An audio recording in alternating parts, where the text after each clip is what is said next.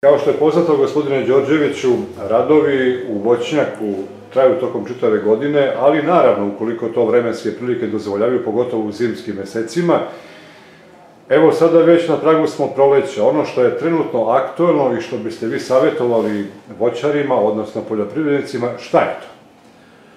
Pa evo, kao što ste rekli, znači u voćnicima tokom cele godine postoji aktivnost možda jednog mesec dana, dva, da kažemo to je januar i decembar mesec kada su zatiše, ali uglavnom tokom cele godine su poljoprivredni proizvođači aktivni u svojim voćacima. Trenutno sada je aktivno orezivanje voćaka i vinove loze, e, možemo da kažemo da je ta zahvat, napično kod voća, možda i 90% rađen, kod vinove loze nekih 10 do 15%.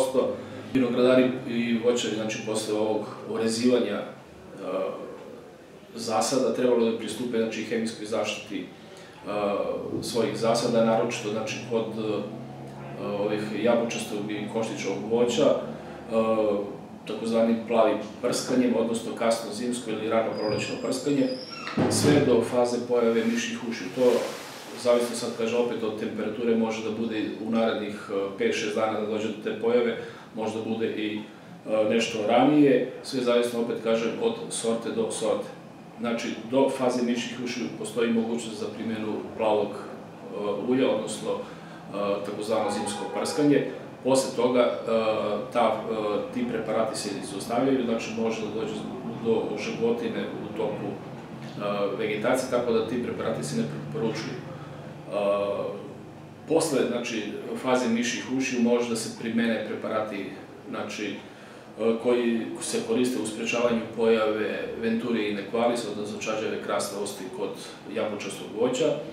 I takođe, znači, preparati koji se koriste znači, za suzbijanje bakterioznog menjača, odnosno Nervirija melogora, na ovom, na ovom jabučastom voću.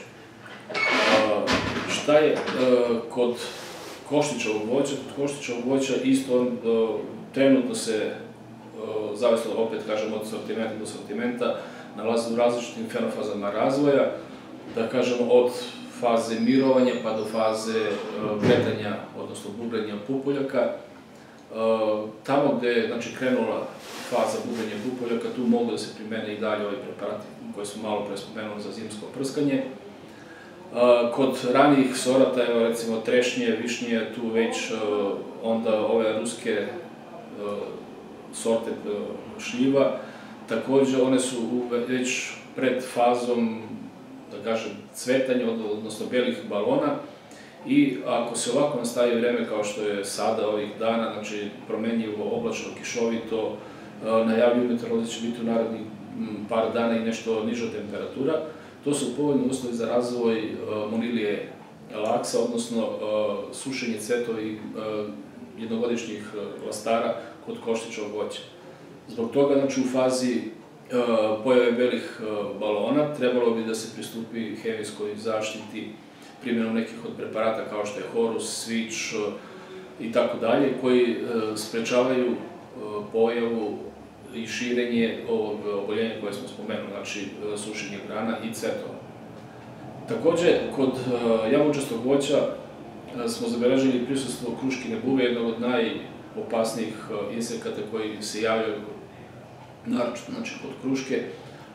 Ako dođe do prenamnožavanja, može da izazove i sušenje samih biljaka. Zbog toga, poljoprivredni proizvođači, odnosno voćari, bi trebalo da obrate pažnju i ako primete ovaj insekat, da pristupe zaštiti. Mi smo, kažem, već registrovali prisustvo zimskog imaga, prisustvo položenih jaja tih prezimljujućih imaga.